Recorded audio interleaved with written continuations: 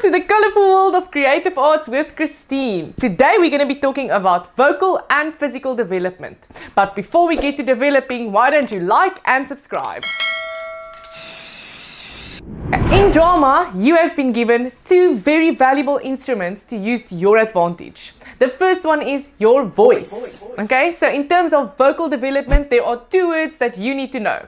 The first one is phonation, and the second one is resonance. What on earth is phonation? Okay, so phonation is the actual sound that your voice makes. So it's when your vocal cords vibrate together and they actually create sound. Okay, and resonance is all about where that sound resonates where that sound comes from. Okay, so sound can come from your mouth, it can come from your chest, it can come from your diaphragm. So resonance is all about where that sound resonates. And you need to learn how to use phonation and resonance to your advantage in order to communicate effectively in drama. The second very valuable instrument you have been given is your body, okay? So you need to use physical skills in order to communicate ideas and emotions to your audience, okay? So we have some awesome, awesome actors in the making that is going to do some phonation and resonance exercises for you now, as well as a physical exercise.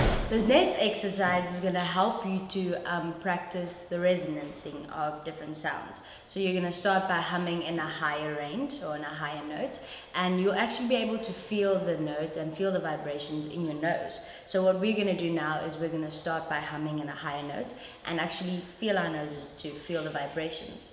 So in 3, 2, 1 we're going to breathe in and then we're going to start humming on a high note. In 3, 2, 1 breathe in and then hum. Then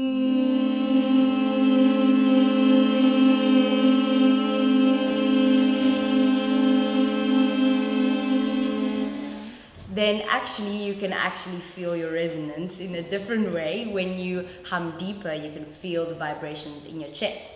So what we're gonna do is next is we're gonna exercise resonance in our chest on a deeper note by breathing in on three, two, one, and then humming. Three, two, one. Hmm.